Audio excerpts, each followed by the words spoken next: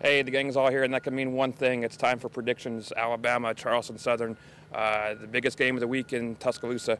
Uh, so I guess we can start. Go around the horn. John Talty, your picks for the for Saturday. So I've been doing my homework on this game, looking at some different statistical models that project the kind of score and what people expect to happen. Shocker, people think Alabama's going to win. The, the, model I saw has it predicting a 50 to 7 win. I'm going to knock a point off of that. I think it's going to be 49 7. I think ultimately in this game, you're hoping people just don't get hurt. You see some young guys. You watch Derrick Henry run wild. I'm sure he'll rack up some points to keep the Heisman train going. But big win, 49 7. Thanks, Doc. Over to you, Matt. What are, what are your thoughts for this game? 7 6 Charleston Southern. now, it, it, it's going to be a lopsided game, most likely, for Alabama. The Charleston Southern has a very good record in the FCS, 9 in oh, I guess there, but lost 44 to 16 to Troy. I don't think Troy is on the same level as Alabama, so considering Troy blew out Charleston Southern, expecting the same thing from Alabama. Sure, I guess uh, it won't be too different.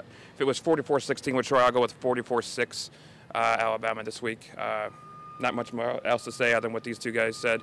So that's it for uh, today. Full coverage Saturday, Bryant Denny Stadium, 3 o'clock, Alabama, Charleston Southern.